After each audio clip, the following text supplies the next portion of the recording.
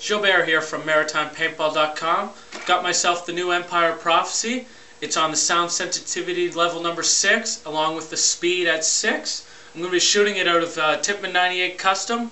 On my custom, I've got the Wasp bore, along with the Tech Fang trigger, the Tippmann GTA Reg.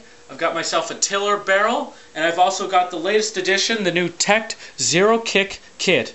Uh, it's a hammer, and along with the Rufus Dog center feed. Going to be shooting about 120 reballs. They're pretty old, pretty dirty, as you can see here.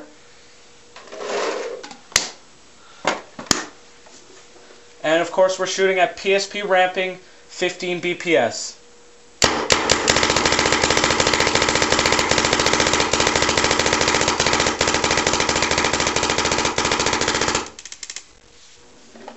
And that's pretty much everything. A little bit stuck at the front of the loader there. And that's everything. So, great loader. I highly recommend it. Definitely go out and buy one.